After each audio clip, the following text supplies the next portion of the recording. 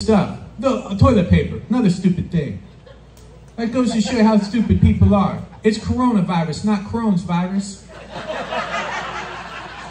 When I hear the word pandemic, I buy rice and beans. What's the point of toilet paper if you can't shit nothing out?